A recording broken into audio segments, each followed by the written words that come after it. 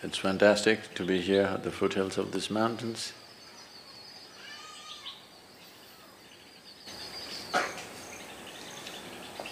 Many decades of my life, first half of my life went looking for them.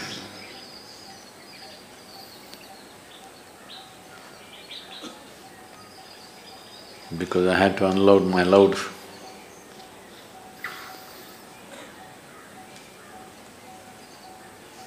Now it's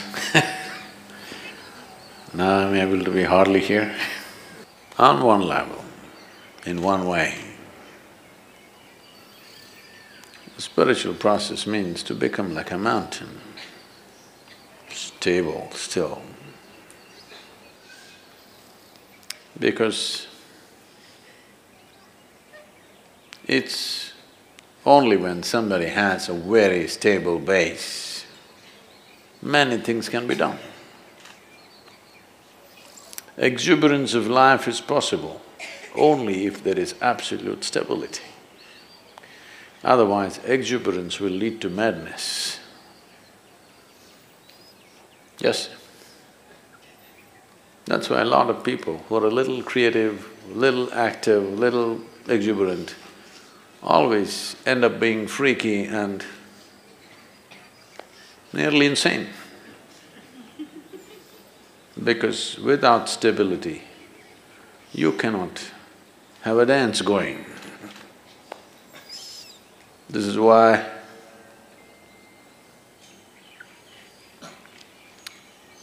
Shiva means stillness, Shiva means dance at the same time.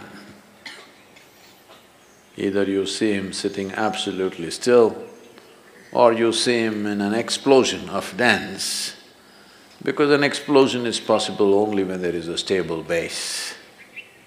An explosion which is not destructive is possible only when there is stability. And stability, people try to become stable by controlling and trimming their lives. This is the way your grandmother would tell you how to be stable. Control yourself, then you will be stable. Yes, if you're dead, you will be stable. Very. I promise you that. So normally, people who talk about stability are all constipated existence. You know what's constipation? That means it happens little by little.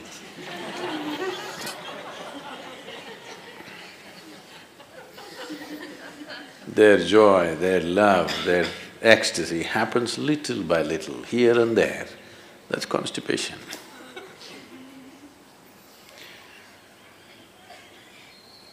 So, stability is not because you have trimmed your life down or pruned it down to minimal and you're stable. That's of no consequence. Stability because you see everything utterly clearly. That is why when we say Adiyogi, we're talking about stability, at the same time an exuberant dance. This is possible only because he has more than two eyes, not necessarily three, more than two. That means he sees much more than most people ever see. Because he sees much, much more, able to be stable. If you see only one part of it, you cannot be stable. So the entire effort is to see better. Darshan seeing, you know. The entire culture has always been talking about it. You go to temple not for sending petitions, but for darshan, to see to see better. Fundamentally, why people are not able to see what is there with life is simply because identifications with so many things. Starting with the body, the identifications have gone into so many things. The moment you identify with something, your entire mind understands that it needs to be protected and just works for that. So how do I break my national identity, my religious identity, my racial identity? You don't have to go like this. If you break your identification with your own body, it's gone. Everything is gone because everything is rooted in that. Everything is just an amplification of your identification with the limited boundaries of your own body. The moment you get identified with this, rest of the identification is only multiplication. And uh, it multiplies pretty rapidly. the more successful you are with whatever you're doing, you will multiply much faster. And you will be able to see less and less as your identities grow, the drama, the psychological drama raises in crescendo, won't allow you to see anything, your own thoughts and emotions will drown you. Unfortunately, the world has been constantly been pushing people to believe that what's happening in your mind is very important. I've been trying to convince the world what's happening in your mind is just trash. No, Sadhguru, I'm thinking about God, that is also trash.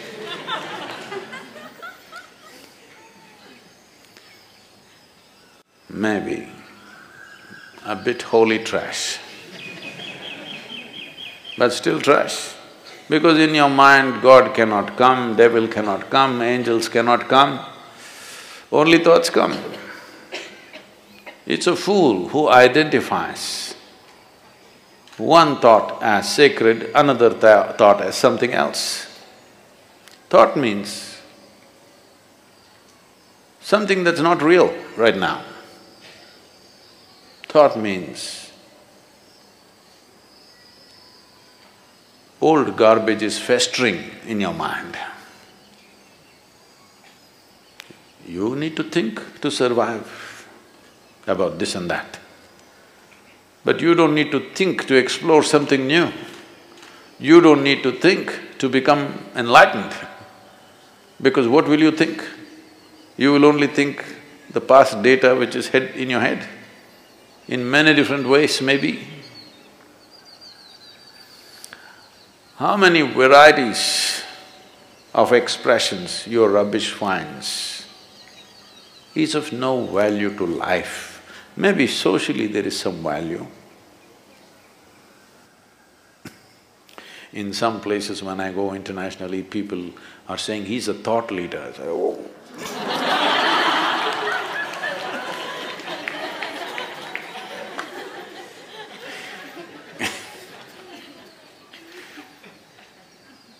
thought in my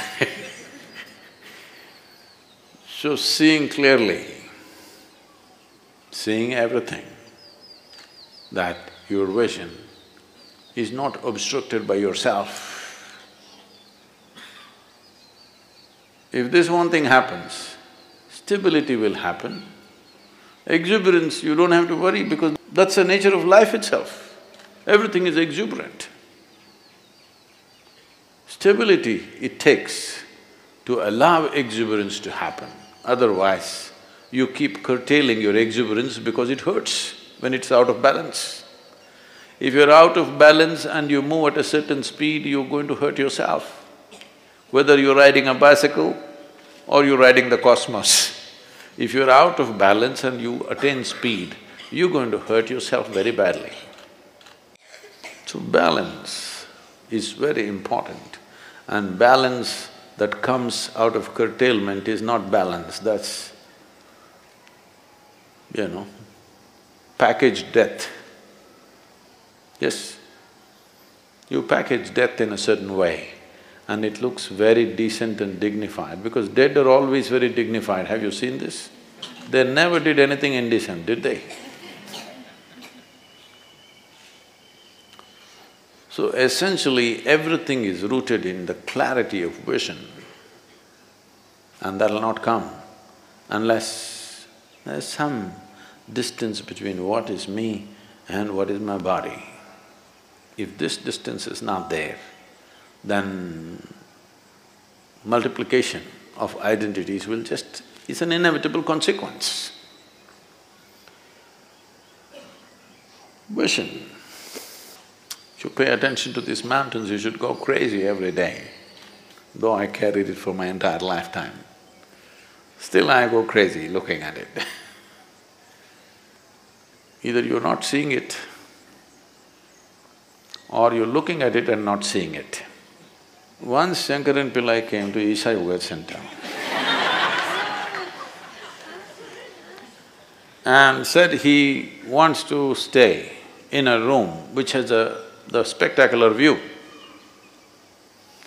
So after thinking the reception put him in the Chitra block. Next day morning, he woke up and he complained, I asked for a room with a view. Why did you put me here? Just tried to explain, this is the room with the best view. He said, where is the damn view? The mountain is in the way